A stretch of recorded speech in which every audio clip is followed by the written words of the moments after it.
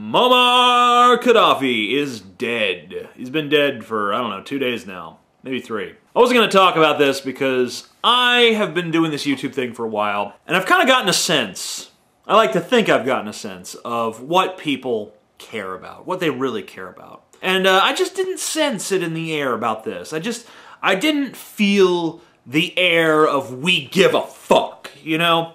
After Michael Jackson died, even the people who were like, who gives a fuck, just some singer, you could tell they gave a fuck. At least I could.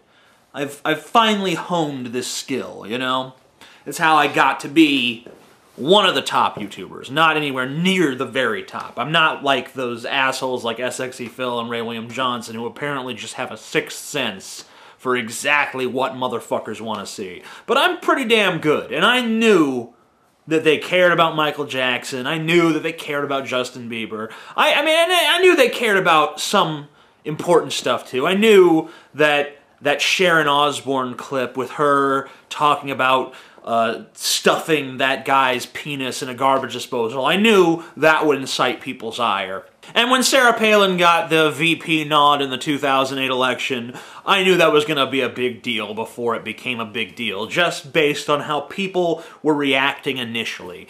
I have a, pretty good sense of when people give a fuck, and I don't think people really gave a fuck about Gaddafi being dead. But then when the videos surfaced of Gaddafi's final minutes on this earth, and you see this bloodied man, and he's begging for his life, uh, and all these people are around him beating him, there was this tonal shift that I noticed. And I noticed there were a lot of people all of a sudden were taking Gaddafi's side and saying, oh, the rebels are a bunch of barbarians, and oh, the, the U.S. is just interfering in the Middle East, and they only interfere because there's oil or there's gold or, you know, whatever.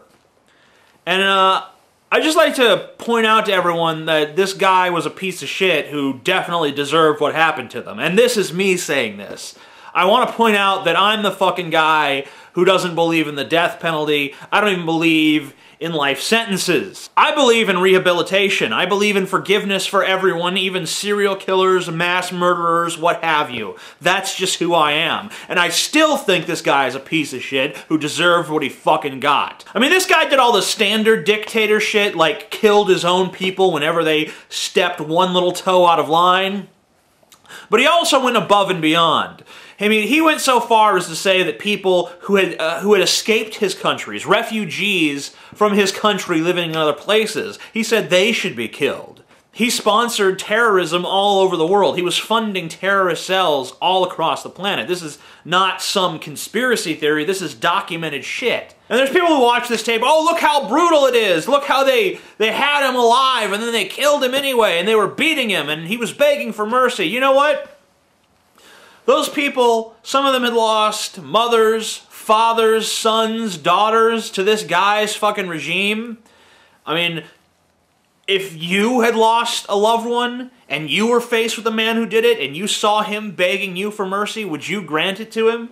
Especially if you're in a giant mob and they all, and you all share that experience and you have this motherfucker at your mercy after months and months of fighting do you look at him and say we're gonna give you a trial. And what what court system are they gonna try him in? The international court system? Bullshit. You try that motherfucker by putting a bullet in his head.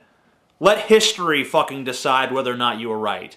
I mean, this guy is responsible for thousands of deaths, probably hundreds of thousands of deaths. Maybe even millions of deaths. Probably not, but maybe. And how many times do we get to kill him for all the lives he took? Just once. I mean, let's remember, this guy was in power for 42 years. For four decades of his life. He got to kill whoever he wanted to kill. He got to rape the women that he wanted to rape. He got to be in charge and have people around him kissing his ass and making him breakfast and anything else he fucking wants. That was his life for 40 years. And we're supposed to feel bad for him after all the stuff he did because he was treated badly in his last 20, 30 minutes of life? I'm sorry, but I don't fucking see it. I don't have any sympathy for the man. But probably the biggest reason why I support what happened to this guy is because when he supported the Iranian Cultural Revolution, he said that he couldn't wait to see what happened when the people got a hold of the Shah. because he knew that they were going to avenge all the injustice that had been done to them. And that's exactly what happened to him. Exactly the scenario that he prescribed for that situation transpired in his situation. So he has no right to complain about it, and of course he can't complain about it because he's fucking dead, and neither does anyone else.